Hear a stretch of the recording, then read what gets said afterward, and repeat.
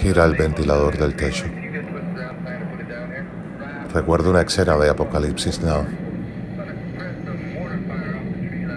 Pero yo no amo el olor del napal en la mañana. La artillería pesada que pueden llegar a ser las palabras. I love the smell of napalm in the morning.